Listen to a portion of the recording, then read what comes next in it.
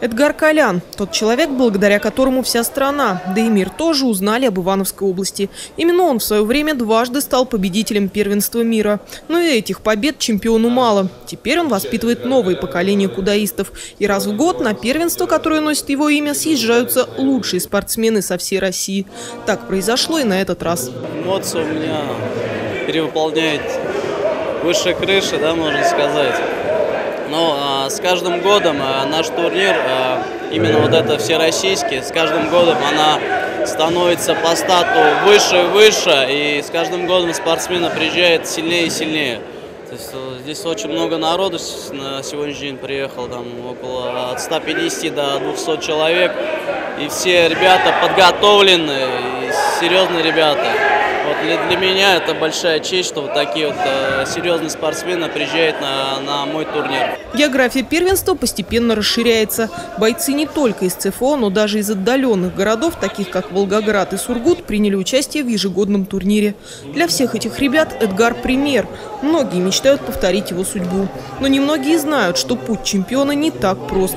Нужно совершенствовать себя каждый день. Чемпион не рождается, а чемпион становится. Да? Чтобы стать чемпионом, нужно тренироваться много. На, на примере меня я э, с утра до вечера как бы э, в теме э, тренировок, допустим, взять сегодняшний день. Я с утра встал, э, вчера, сегодня, допустим, у меня такой важный день. Э, с утра я должен заниматься работой, как бы я встал, с утра сделал пробежку, потренировался, пришел сюда.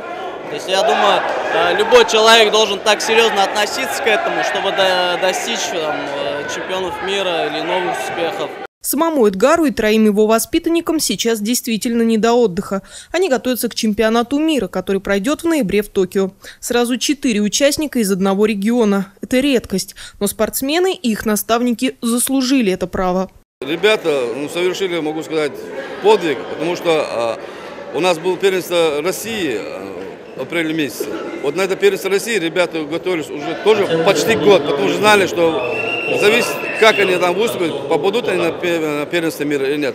И они готовятся на этот, самый, на этот турнир, на первенство России.